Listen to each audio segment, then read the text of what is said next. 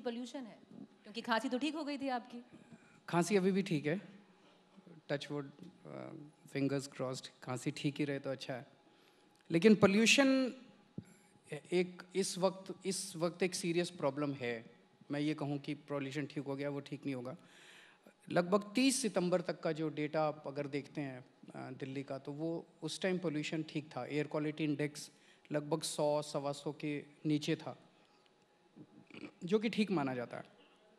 उसके बाद पोल्यूशन बढ़ने लगता है और वो आसपास के राज्यों में जो पराली जलती है, उसका धुआँ जब दिल्ली आता है, उसकी वजह से पोल्यूशन बढ़ता है।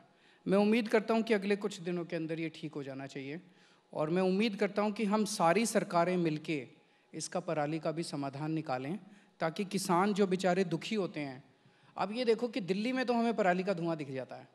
मैं पंजाब गया था, वहाँ के किसान बोले कि सर ये जितने टीवी वाले हैं और जितने सारे कहते हैं, दिल्ली में पराली का धुआँ, दिल्ली में, बोले आप ये सोचो कि जो किसान अपने खेत में पराली जलाता है, उसके लंग्स का क्या हाल होता होगा? वो कितना धुआँ अंदर लेता है?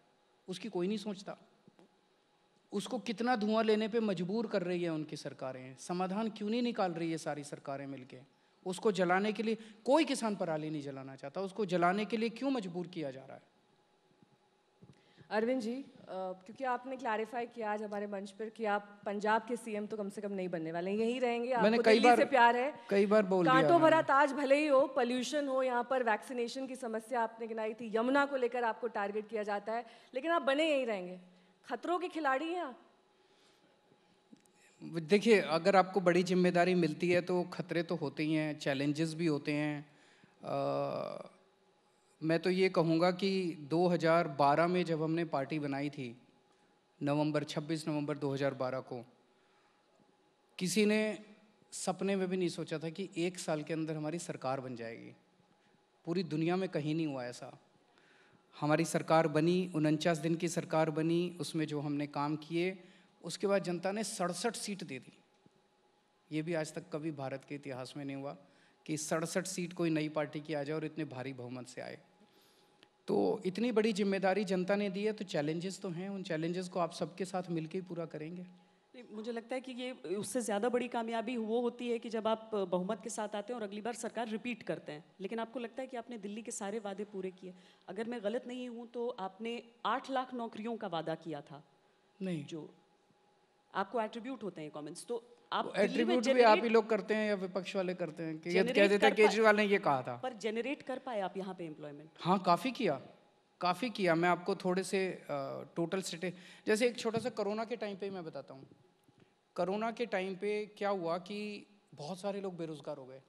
फैक्ट्रियाँ बंद हो गई दुकानें बंद हो गई मार्केट बंद हो गई नौकरियाँ चली गई। हमने एक जॉब पोर्टल शुरू किया। हमने कहा भाई जिन जिन फैक्ट्रियों को और जिन जिन दुकानों को नौकरी की ज़रूरत है, आप अपना एडवर्टाइज़ करो कि हमें नौकरी देनी देनी है। और जिन जिन को नौकरी चाहिए, वो अपना बायोडाटा डालो और यहाँ मैच मेकिंग हो जाएगी। जब ये पोर्टल शुरू किया था, हमने सोचा था कि अगर महीने भर में पच्चीस तीस हज़ार आ गई वैकेंसीज तो हम खुश हैं। आपको जान के ताज्जुब होगा, दो महीने के अंदर दस लाख नौकरियाँ उस पर एडवर्टाइज हुई थी। दस लाख नौकरियाँ। ढेरों लोगों को नौकरियाँ मिली थी। फिर हमने इतने सारे मोहल्ला क्लिनिक बनाए। एक एक मोहल्ला क्लिनिक में कम से कम चार लोगों की नौकरी लगती है। हमने डोर स्टेप डिलीवरी शुरू की। डोर स्टेप डिलीवरी मतलब कि अगर आपको सरकार से अब दिल्ली में कोई भी काम कराना है तो आपको दफ्तर जाने की ज़रूरत नहीं है।